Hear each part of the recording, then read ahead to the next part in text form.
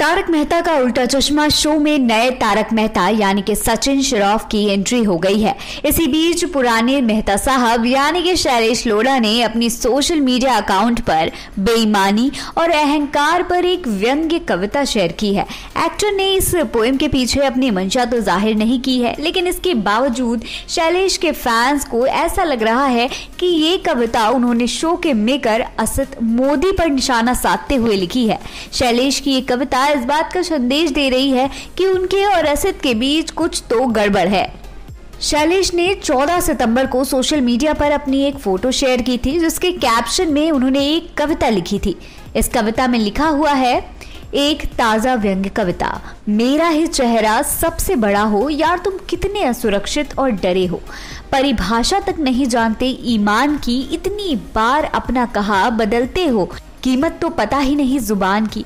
अगर तुम में आत्मा होती तो पूछता, क्या कभी उसे टटोला था? वैसे एक सवाल ज़रूर है, आखिरी बार तुमने सच कब बोला था? हैश शैलेश की शैली।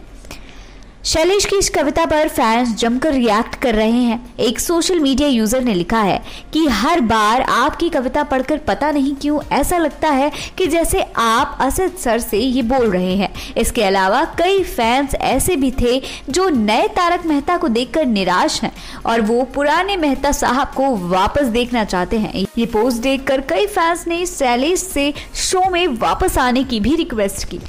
बता दें कि शो में शैलेश को रिप्लेस करके सचिन श्रॉफ ने अपनी जगह बना ली है। हाल ही में उन्होंने एक इंटरव्यू में कहा था कि वो इस कैरेक्टर के साथ न्याय करने की पूरी कोशिश करेंगे। साथ ही उन्होंने ये भी कहा था कि वो दिलीप जोशी के साथ काम करने के लिए बहुत एक्साइटेड है। इसके अलावा एक्टर ने शो के मेकर असद मोदी की भी तारीफ़ की थी।